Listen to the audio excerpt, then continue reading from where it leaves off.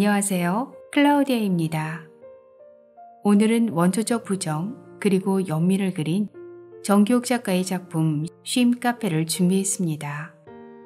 아픔과 상실로 인해 메마른 우물 같았던 마음에 회복과 치유라는 맑은 샘물이 차오릅니다.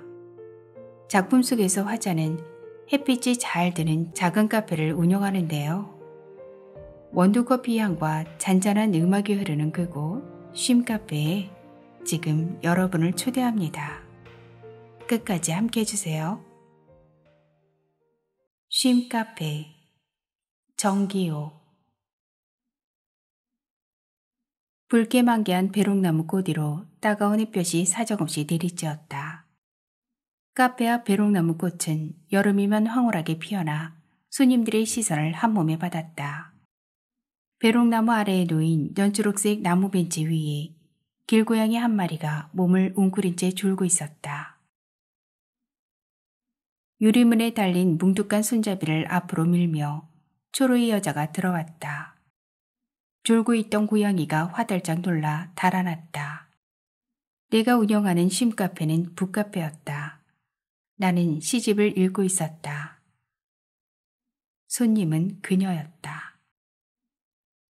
60대 초반인 그녀는 화요일 오후 2시면 어김없이 카페에 왔다. 작고 동그란 얼굴에 옅은 쌍꺼풀 진 눈, 가냘픈 목선. 그녀는 나이가 믿기지 않을 정도로 피부가 탱탱하고 고왔다.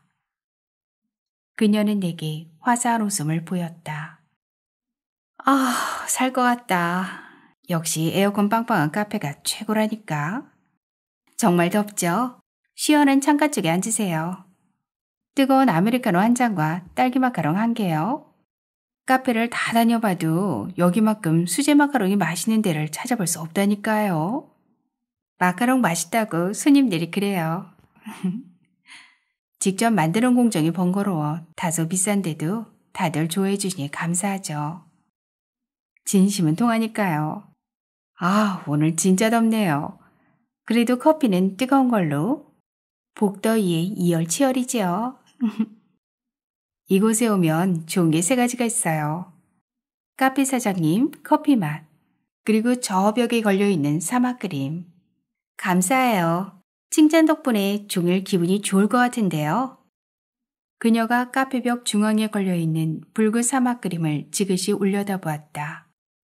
저 메마른 사막 한가운데 푸른 나무를 보면 왠지 마음이 편해져요. 나도 그녀의 시선을 따라 붉은 사막 그림을 응시했다. 과거의 속박과 미래의 희망이 교차되는 지점. 그곳이 붉은 사막 한가운데였다. 문득 가슴 깊이 묻어두었던 어두운 기억이 떠오르자 커피의 쓴맛처럼 명치 끝이 아렸고 나도 모르게 얼굴이 달아올랐다. 가만히 나를 바라보는 그녀의 시선이 느껴졌다. 저 그림 누가 그린 거죠? 나는 희미한 미소를 지었다. 저랑 가까운 분이요. 비밀이에요? 그냥 다음에요. 한 주가 지난 화요일이었다. 여느 때처럼 카페로 출근했다. 밤새 눅진하게 가라앉은 공기를 환기시키려 출입구 문을 활짝 열었다. 잔잔한 클래식 음악을 틀고 손님들이 오기 전 구석구석 청소를 했다. 한숨을 돌린 후 나는 에스프레소 한 잔을 내렸다. 원두커피 향과 잔잔한 음악이 실내 공간을 채우자 마음이 편안해졌다. 이 카페가 삶에 지친 이들이 쉬어가는 곳이기를 나는 염원했다.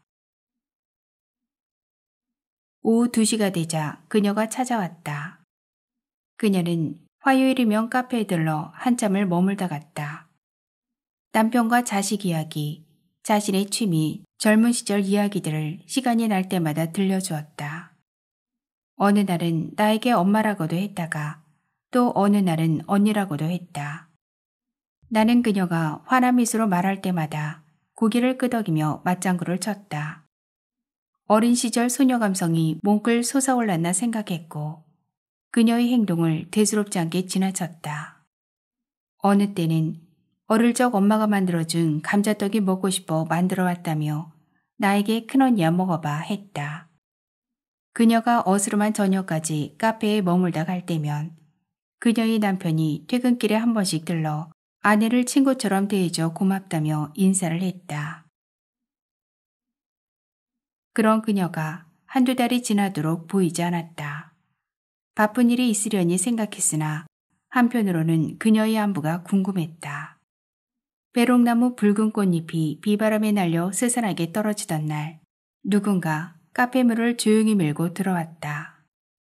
평소 활짝 웃으며 나에게 다가오던 그녀가 그날은 얼굴에 수심이 가득했다.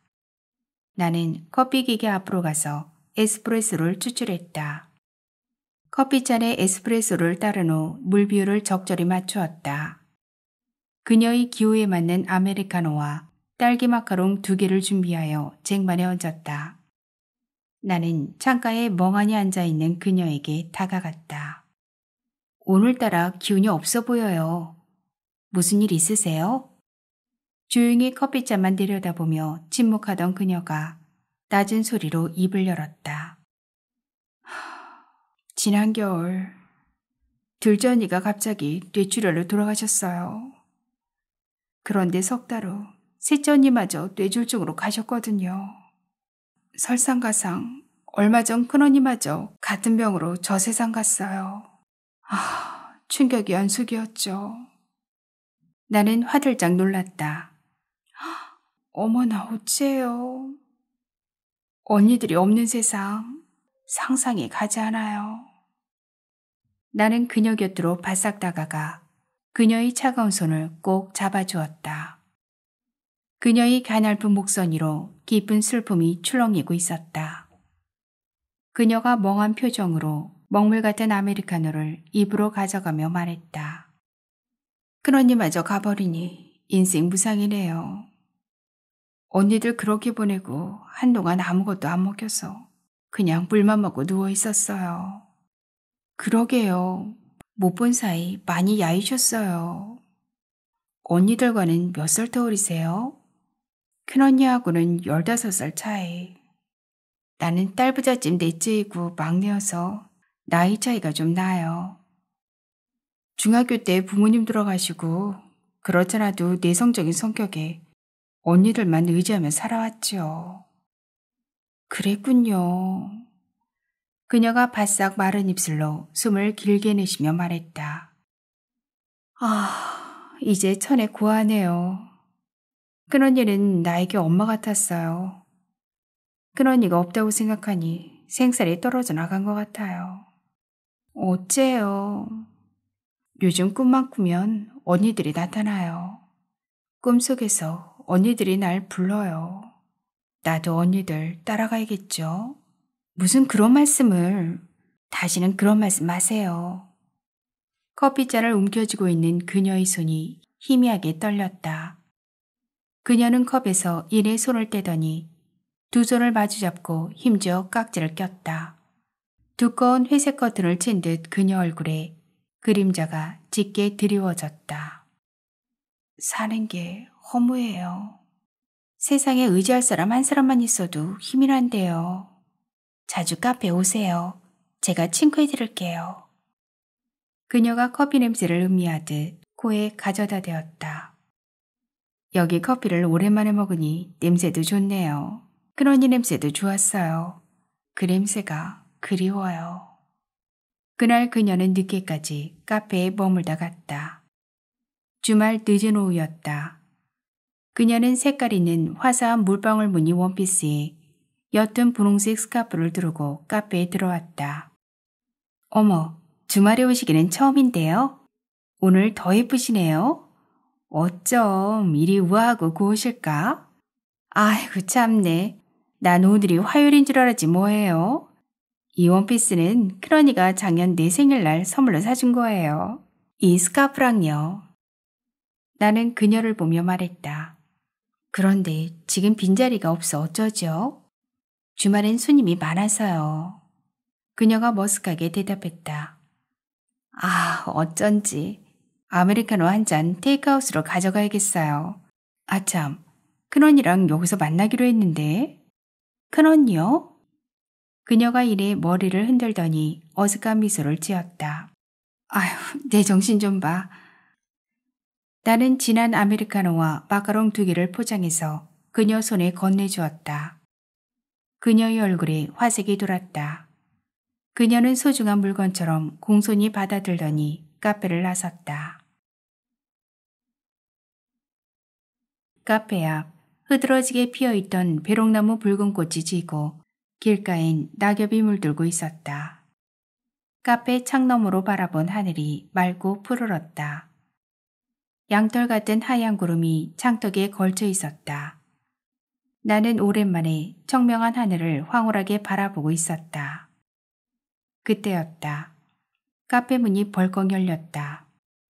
은빛 머리카락이 눈에 띄는 초로의 남자가 숨을 헐떡이며 뛰어들어왔다. 그녀의 남편이었다.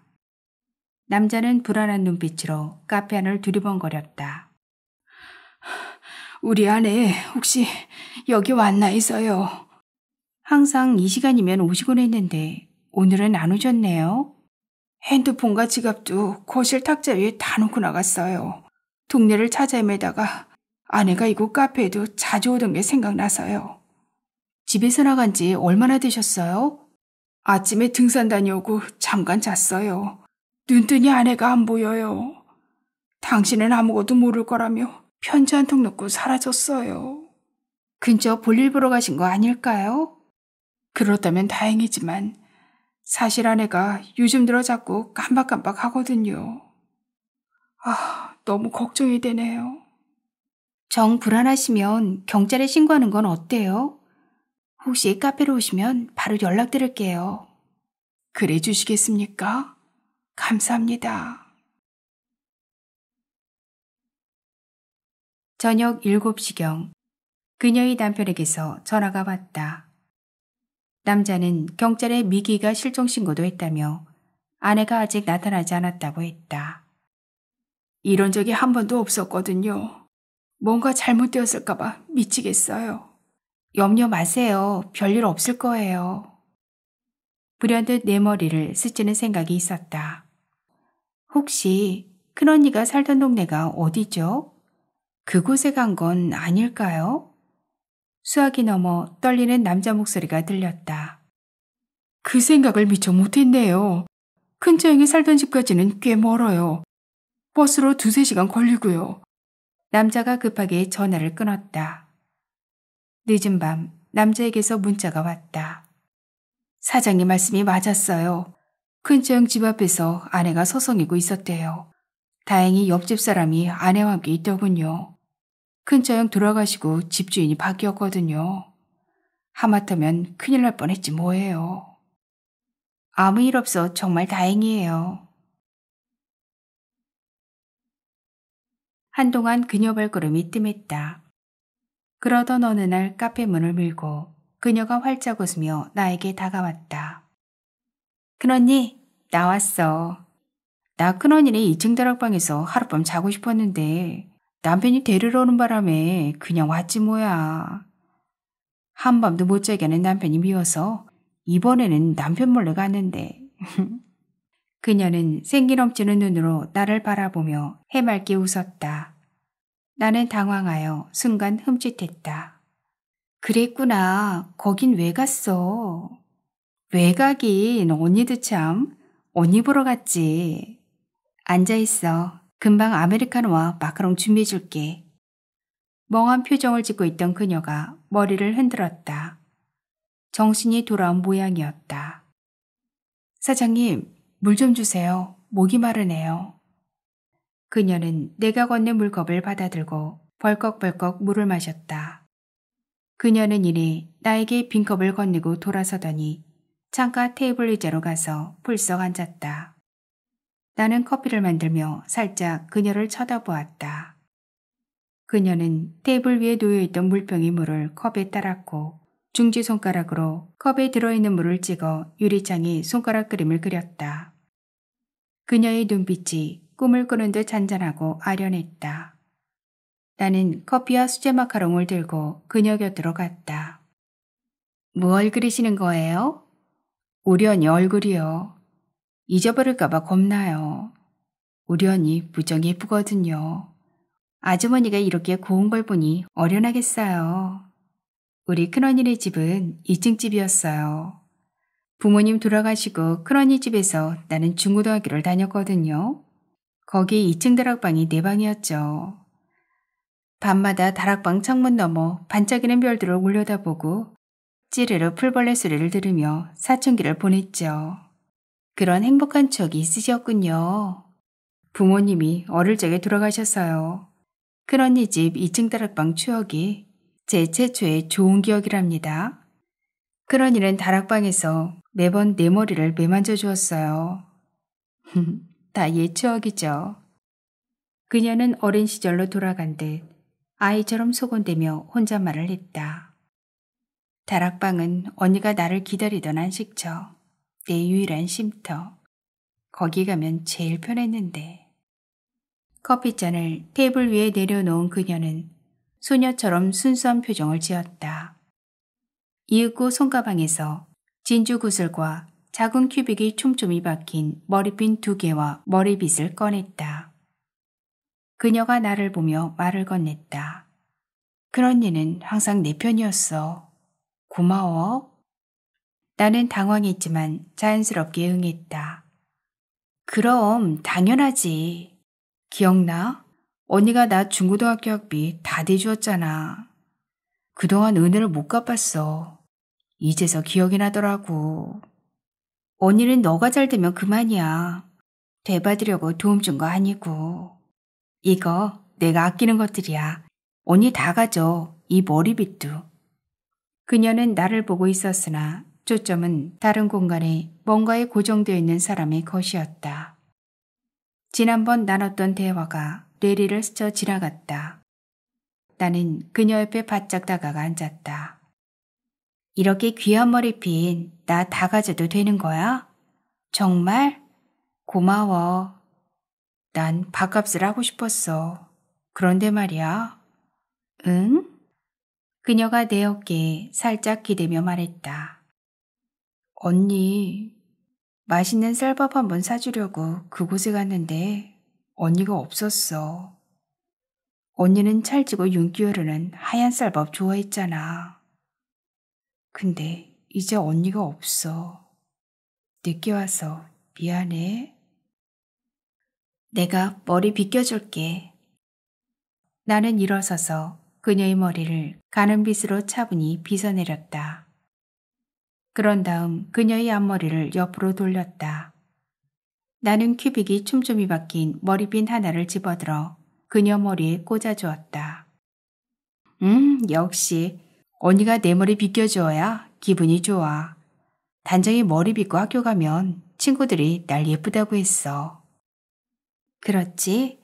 우리 막둥이 내가 봐도 예쁘다. 그녀가 들뜬 표정을 지으며 작은 손가방을 들고 일어섰다. 언니 고마워. 나 학교 다녀올게. 나도 따라 일어섰다. 잠시만.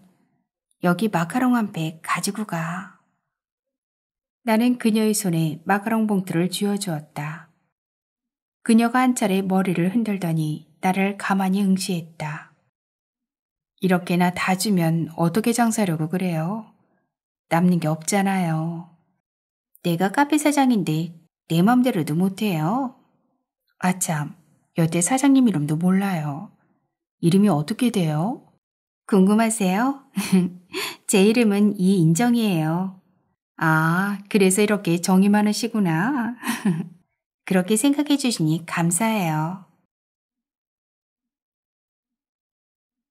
초겨울 문턱에 들어선 듯 찬바람이 불었다. 화요일 오후 조금씩 눈발이 흩날리고 있었다. 그녀가 머리에 붙은 쌀랑눈을 털며 쉼 카페 문을 열고 들어왔다. 그동안 염색을 안 했는지 하얀 머리가 더 희어 보였다. 그녀가 나에게 다가왔다. 그러니 지난번 깜빡했지 뭐야. 신혼 때 우리 집 살 때 언니가 돈 보태줬잖아. 내가 큰 돈은 없고 매일 만 원씩 갚을게. 여기 만 원. 그리고 계피맛 사탕 많이 가져왔어. 큰언니는 계피맛 사탕 엄청 좋아하잖아. 눈발이 짙어지고 있었다. 창밖 세상이 점점 하얗게 변했다. 그녀가 작은 손가방을 열더니 봉투 하나를 꺼냈다. 우리 남편이 큰언니 주래. 나는 가만히 봉투를 열었다. 그녀와 그녀 언니들이 어렸을 때 함께 찍은 빛바랜 가족 사진이었다. 이름 모를 꽃이 피어있는 담벼락 아래 모두 해맑게 웃고 있었다. 봉투 한쪽에 그녀 남편의 편지가 들어있었다. 우리 아내 잘 보살펴 주셔서 감사합니다. 차디찬 바람만 가득한 세상인 줄 알았는데 꼭 그렇지만도 않더군요. 아내는 치매를 주는 약을 먹고 있어요. 아직 초기라서 가끔 기억이 들락달락해요. 작은 성이 필요합니다. 거절하지 마시고 꼭 받아주세요. 나는 봉투에서 사진만 꺼내고 나머지는 그녀 가방에 도로 넣어 주었다. 카페 문을 나서는 그녀 손에 마카롱 두 팩을 쥐어 주었다. 나는 그녀의 삶에 좋은 사람이 많아지기를 그리하여 더 이상은 춥지 않기를 기도했다. 그녀가 울먹이는 목소리로 말했다. 언니, 이제 한동안 못 올지도 몰라.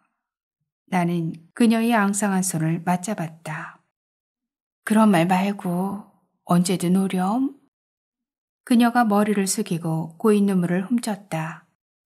그녀는 순간 정신이 돌아온 듯 고개를 들더니 뚜렷한 표정으로 카페벽을 찬찬히 바라보았다.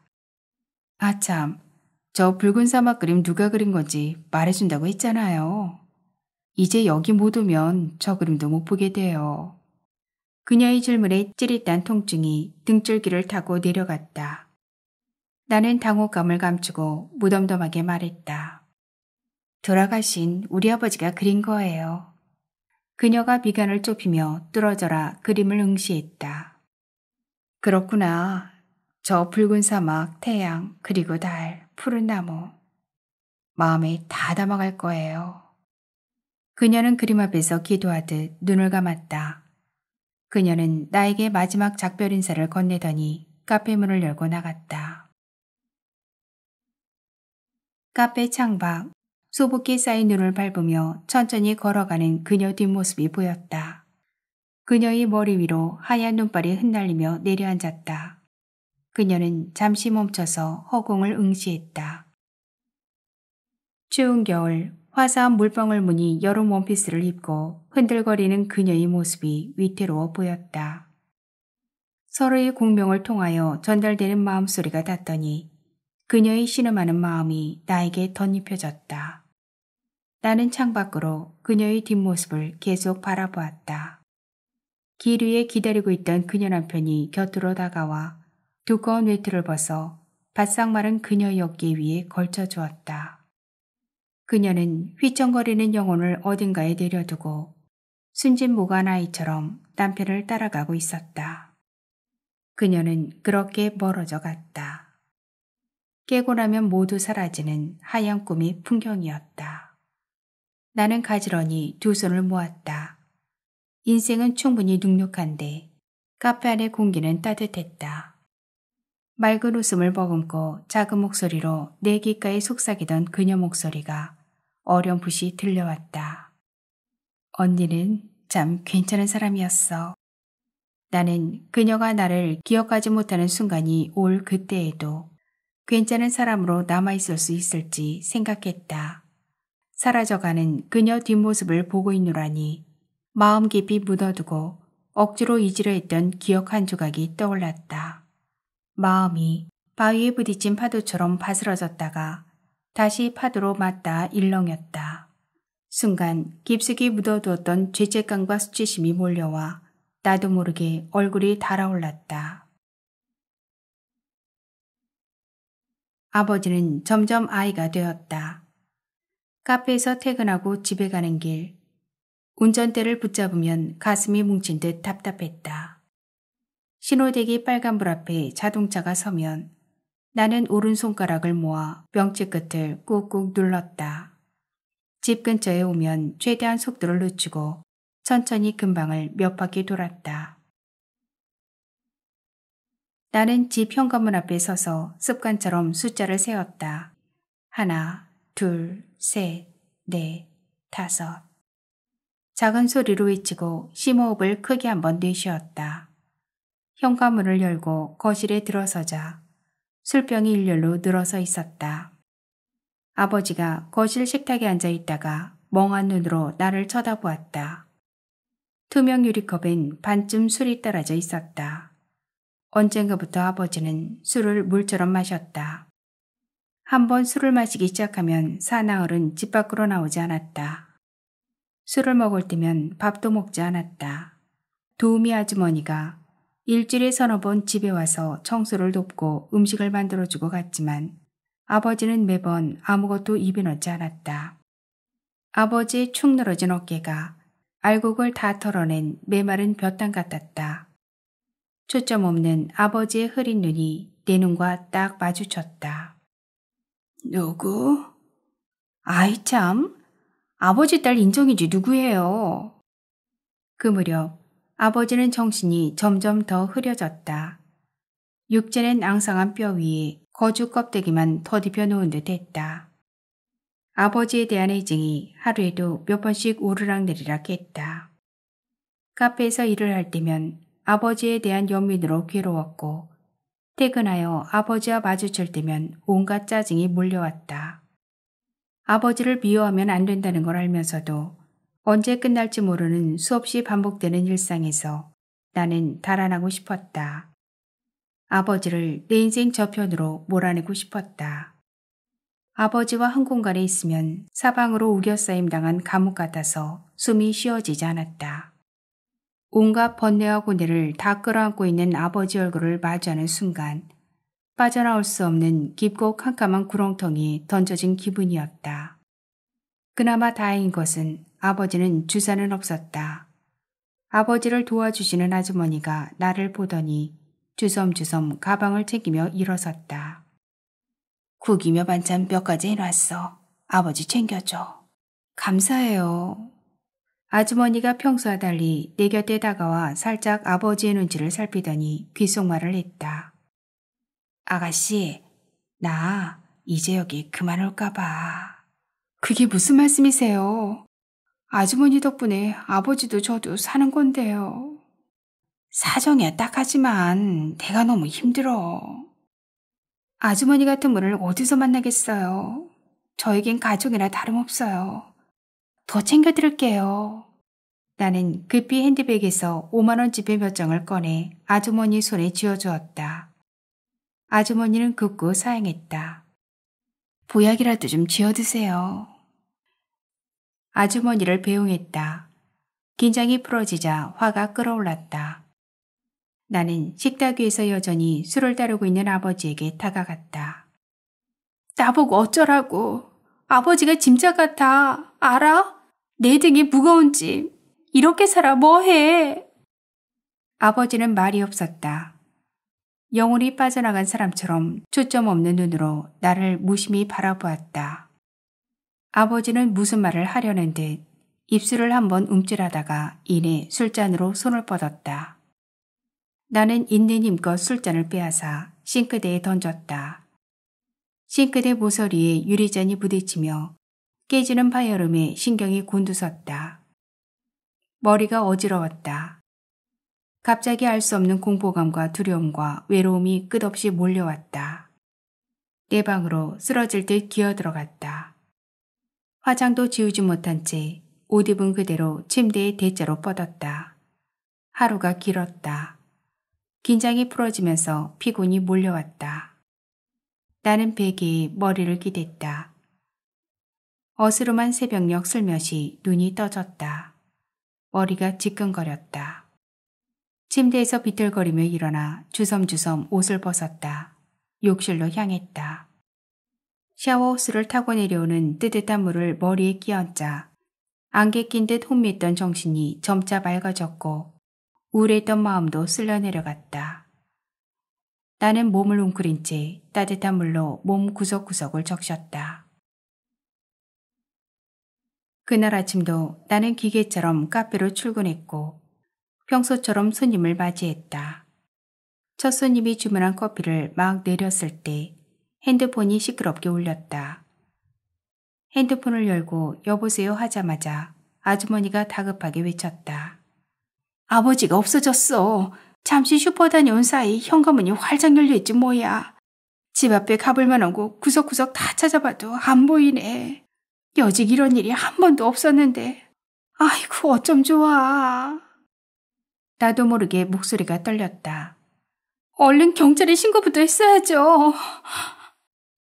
그날 따라 바람이 유난하게 불었다. 벚꽃이 바람에 꽃비처럼 흩날렸다. 출근할 때 유심히 나를 바라보던 아버지의 물기 어린 눈빛이 떠올랐다. 아버지의 눈빛이 나를 향해 무언의 말을 하고 있었다. 기억이 사라진 채 집을 나간 아버지는 다시는 집으로 돌아오지 못했다.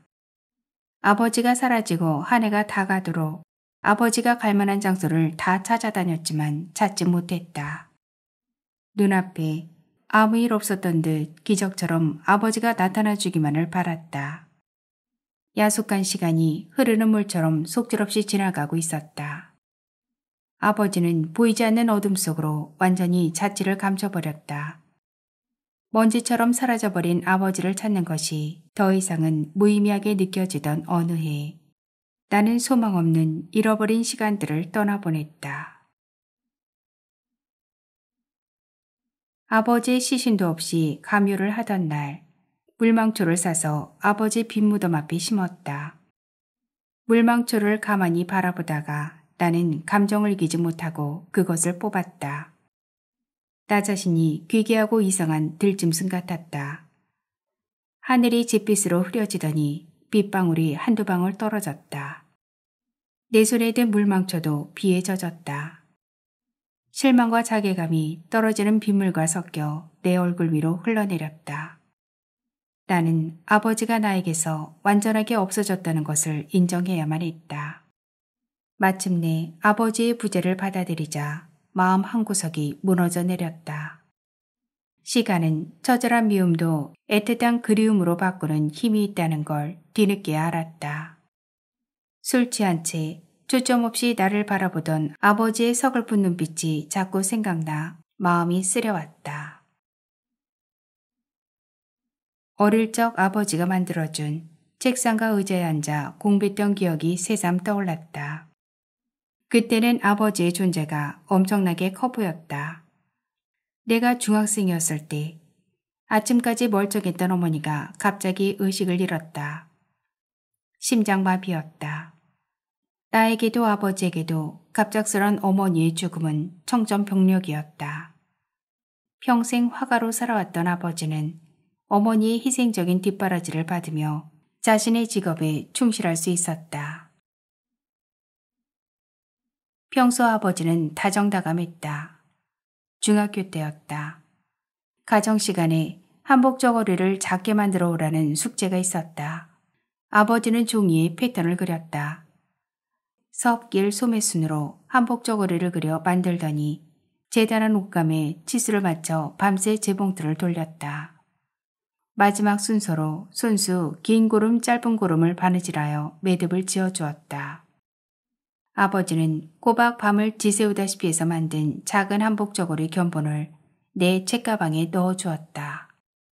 아버지는 아침마다 교복을 다림질해 주었고 미역국이나 황태국을 끓여서 아침밥을 꼭 먹게 했다. 아버지는 어머니가 없는 빈자리를 어떻게든 채워주려 했었다. 어느 날 학교에서 돌아와 보니 아버지는 사막 한가운데 푸르른 나무 한 그루를 도화지에 스케치하여 물감으로 색칠하고 벽에 붙여놓았다. 오른쪽에는 떠오르는 해가 있었고 왼쪽에는 옅은 색감의 초승달이 있었다. 아버지가 염원하던 것은 안 나는 광야에서도 끝까지 살고자 다짐한 생명에 대한 지독한 갈망이었을까? 하지만 시간이 지날수록 아버지는 술에 찌들었고 그런 아버지를 무력하게 지켜보는 것은 괴로운 현실이었다.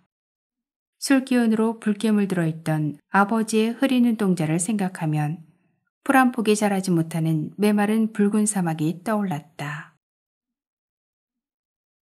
아버지는 그날 자신을 닮은 사막을 찾아 집을 나섰는지도 몰랐다. 아버지를 비추던 저녁 불빛이 다 소멸하여 아버지는 집으로 돌아오는 길을 잃어버렸다고 나는 생각했다. 나는 아버지 빈무덤 앞에 물망초를 가만히 내려놓았다. 비가 그치고 햇살이 무덤을 내리쬐었다. 무덤 뒤쪽으로 안개 같은 아지랑이가 피어올랐다. 아지랑이가 마치 아버지의 영혼 같았다. 나는 손을 뻗어 그것을 움켜쥐었다. 아지랑이가 내 손가락 사이로 빠져나갔다. 어릴 적엔 아버지 몸에 배어있는 후줄근한 냄새가 싫어 아버지만 보면 피에 달아나고 싶었다. 아이러니하게도 아버지의 부재가 확실해지자 아버지의 채취가 그리워졌다. 오른쪽에는 떠오르는 해가 있었고 왼쪽에는 옅은 색감의 추성달이 있었다. 아버지가 염원하던 것은 불안 나는 광야에서도 끝까지 살고자 다짐한 생명에 대한 지독한 갈망이었을까? 집으로 돌아온 나는 아버지 방 한가운데 자리하고 있는 붉은 사막 그림을 응시했다. 떠오르는 해와 달이 그림 한 점에 같이 자리를 차지한 의미를 나는 한동안 생각했다. 아버지의 그림을 조심스레 벽에서 떼어내었다. 다음 날 나는 아버지의 그림 액자를 쉼카페 벽 한가운데에 걸었다. 퇴근 후 아버지의 방으로 다시 향했다. 아버지가 그린 먼지 쌓인 그림들을 하나씩 들여다보았다. 그림을 한 점 한 점 만질 때마다 아버지 채취가 느껴지는 것 같았다. 아버지의 작업실에 남아있는 빈 캠퍼스를 가만히 응시했다. 빈 캠퍼스를 바라보고 있노라니 그토록 벗어나고 싶었던 아버지와의 애증어린 과거와 기롭고 지난했던 삶의 세월이 투명하게 되살아나 반주되었다. 아버지가 나에게 남기고 간 빛바랜 기억들이 잔잔한 파문을 일으키며 가슴 시리도록 파고들었다. 거기 빈 공간, 세심하고 연약하며 상처받기 쉬운 아버지가 물가의 푸른 나무처럼 서 있었다. 나는 눈을 감았다. 어릴 적 내 머리를 쓰다듬어 주던 아버지의 손길이 느껴졌다. 눈물 한 방울이 툭 떨어졌다. 울고 싶은 이유는 많았으나 울지 못했던 지나간 시간들이 떠올랐다. 어느새 눈물이 뚝뚝 떨어졌다. 그러고 보니 나는 아버지가 사라진 후 한 번도 울지 않았다는 사실을 깨달았다. 아버지, 더 사랑하지 못해 죄송했어요. 늦은 밤, 나는 주섬주섬 아버지의 그림들을 챙겨들고 카페로 향했다. 가로등 불빛이 어두운 골목을 내리비추고 있었다. 그 길 끝, 심카페가 보였다. 하얀 눈송이가 카페를 감싸듯 소담스레 내리고 있었다. 카페 문을 열고 들어갔다. 아무도 없는 텅빈 카페에 고요한 정막이 흘렀다. 나는 손님처럼 주문했다. 아메리카노 주세요. 진하게요. 커피를 내렸다. 나는 미소 지으며 말했다. 손님, 이곳에 오셔서 커피를 마시면 아픔이 쉬어간답니다. 나는 커피를 들고 빈 의자로 가서 앉았다. 눈을 감았다. 내 앞에 그토록 찾아 헤매던 아버지가 앉아 있었다. 나는 가만히 손을 내밀어 희미한 그림자 같은 아버지의 손을 잡았다. 아버지, 이제는 언제든 오셔서 쉼카페에서 쉬어가세요. 아버지의 부정이 느껴졌던 사춘기의 추억들이 필름처럼 하나둘 스쳐 지나갔다. 메마른 우물 같았던 내 마음에 맑은 샘물이 다시 차오르는 걸 느꼈다. 낭독은 여기까지입니다. 긴 시간 함께 해주셔서 감사합니다. 오늘도 기분 좋은 하루 되세요.